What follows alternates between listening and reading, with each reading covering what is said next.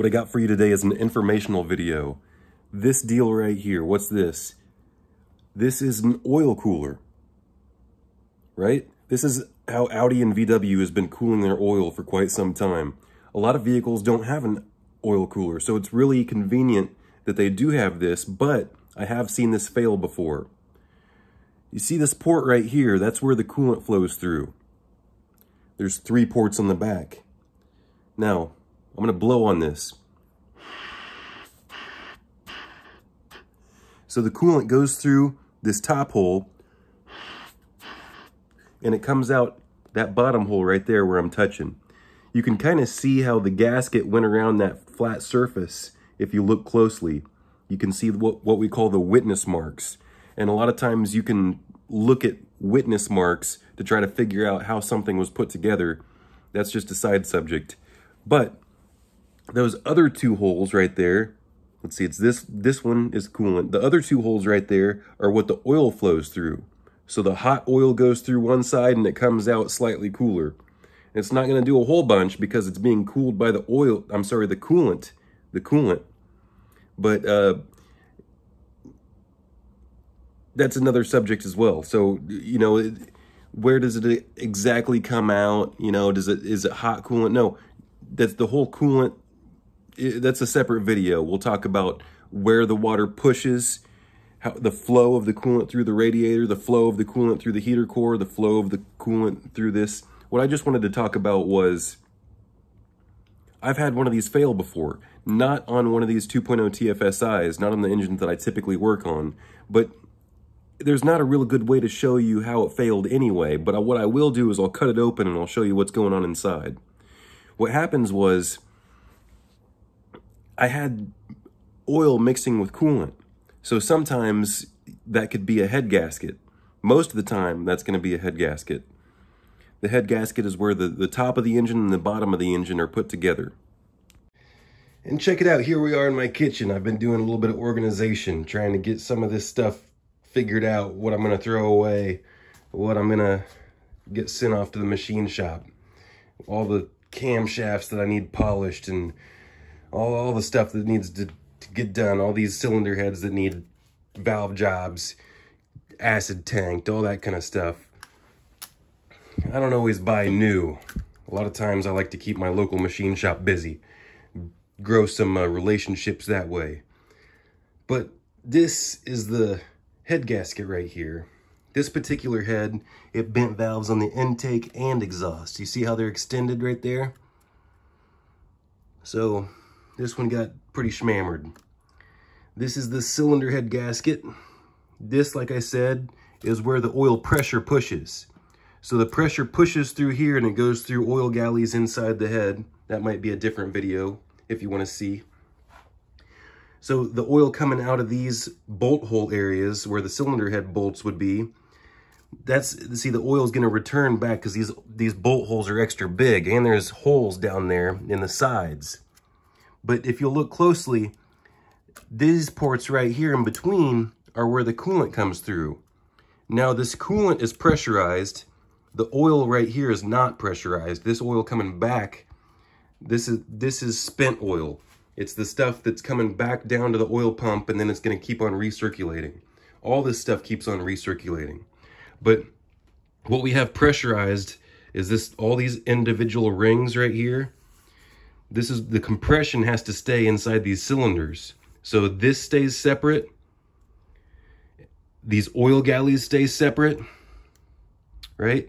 And oil comes out through here comes out through here. And then the coolant is going to come through that small hole, that larger hole, that smaller hole. It's going to come out through here. You see how there's a gasket surface right around here. That's what separates the oil from the coolant, just right there.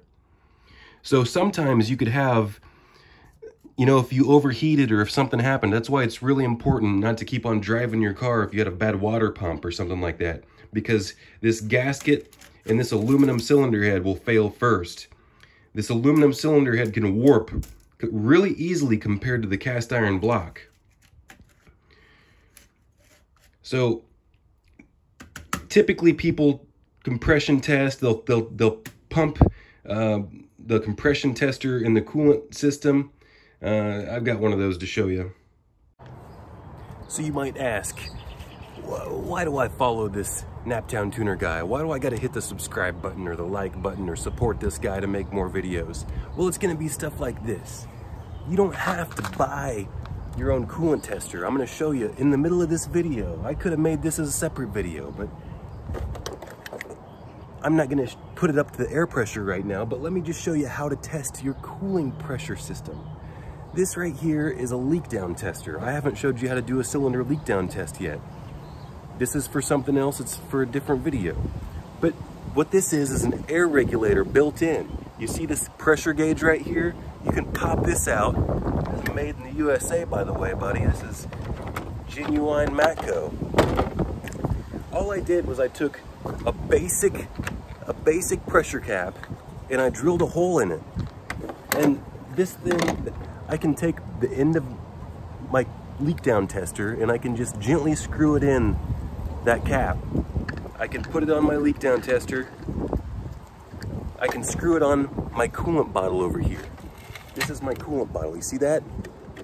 So what you would do is you'd screw it on, connect your hose, connect this to your shop air. Before You don't want to put a bunch of air pressure on it. You would put it down to about 10 PSI. And then you would pressurize your cooling system. And then you would listen for leaks and look for leaks. So you don't got to go buy expensive stuff. All you got to do is buy the leak down tester that you need anyway. And then you don't have to have one of those pump jobbies and all that kind of stuff. You just learned something new. Now this works really well for the plastic cap, but I bet you I could formulate options with all kinds of different caps if I wanted to. Now, let's move on. Before I go ahead and chop one of these open, let me show you, they did even revise this a little bit. You see how this is pretty much perfectly the same exact thing? But if you notice the backside, they look a little bit different. So they switched up the design just a little bit on the inside. So maybe they did see a couple failures in the past, or maybe this bigger port flows a little bit better or cools a little bit better than these smaller ports. I don't know which one is the newer one. Let me see if I can figure it out by the part numbers. Usually you can take a look at this part number. This is 06K117021K. Uh, and this is 021E. So you'll look at the very last. So this one is the more revised, and that would make more sense because K comes after E. That's how that works. And that makes more sense because these holes are bigger. So if you want to do a big cooling improvement on your car, maybe you could update your cooler. Hmm, let's cut it open. So I got the cooler mounted up right here. It's on my porch A lot of times in my videos I do stuff outside or in the yard just to prove that you don't have to have a garage. I got a big four car garage, I got a vise. Uh, there's a lot of different ways I could set this thing up. But I'm just showing you how you can make do with what you got. This is a, a nice battery powered Sawzall, but uh, for the longest time I just had one that you could plug into the wall. So let's see if this does a good job. I'm gonna cut it right down the middle of this one.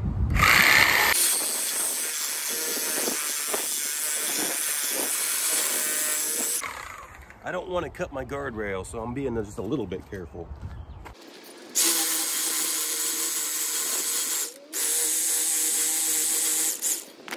That's probably good enough.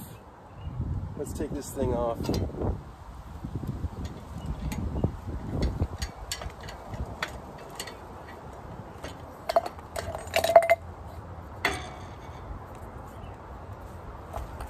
Now, go a little bit more.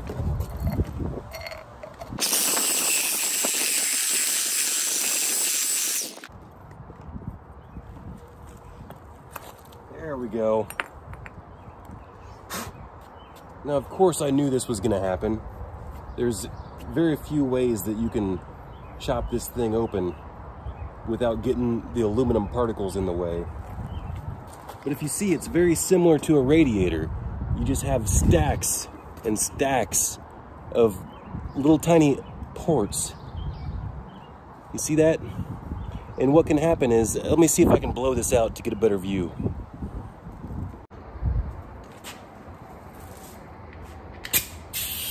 Now, first I'm gonna try like this.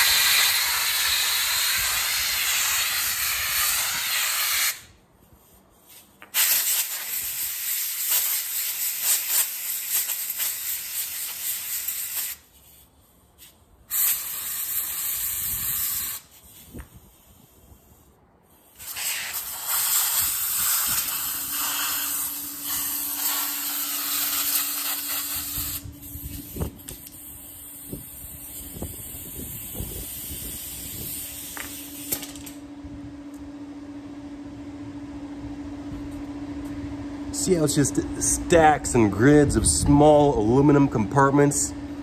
The coolant flows through these channels right here and then the opposite sandwiches. So it is pretty hard to see, but the coolant will flow through the stacked sandwiches. Let's so like for instance, oil here, coolant here, oil here, coolant here, oil here, coolant here, oil here, coolant here, and so on, all the way up.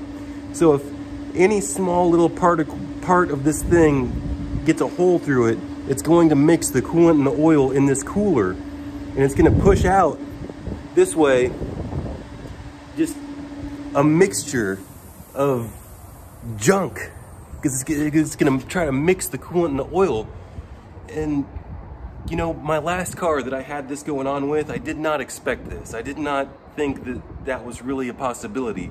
I just was over thinking it, you know, just, I was just thinking, so I put a head gasket on it first, and then I put a whole different cylinder head and another head gasket on it. And then finally I figured out that it was leaking inside. I was leaking inside this oil cooler assembly. And once I just simply put this little cheap cooler on it, all my problems were fixed. So I hope that helps someone else out. Now this was just a quick generalization. Most of the time, yes, it's probably gonna be a head gasket if you're mixing oil and coolant. But weird things like this can happen, especially on Audi VW. They do different things, especially German cars doing different things. Now, on my V8, on V8s, just for one example, they have this coolant crossover tube in the top of the cylinder heads. The, the timing chains are in the back of the engine. If some of these people know what I'm talking about, if you've had any of this stuff apart, there's this little tube that has O-rings on both sides. It's in between the cams on the back of the heads, and you can have bad O-rings on this little crossover tube, and you can mix oil and coolant on that, on your 4.2s, on your Audis. If any of you people can think off the top of your head other ways that oil and coolant can mix, put it in the comments that I'm not thinking off the top of my head. But, you know, there, don't just go throwing a new engine in or taking the cylinder. Now, if you let this go too much, now I just thought of more off the top of my head. There's oil breather assemblies. For instance, on the V6, and uh, the, the supercharged V6 is the one I can think of most readily. There's a oil, coolant that flows through this, this oil separator, they call it, or a breather assembly. It's very complex breather assemblies on these Audis.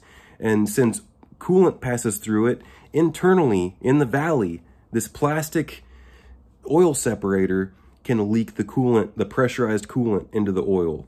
And I know a guy at my old dealership that replaced an engine for that and didn't, uh, surprisingly, they approved it as well under warranty. But really, it was just, but if you think about it, it was probably better to go ahead and replace the engine if it was a car under warranty because you can't let that go very long. Once you have coolant leaking into the oil, you're washing out your bearings. So you really got to address something like this pretty fast. And you can't be having milky oil, watery oil circulating through your engine for very long.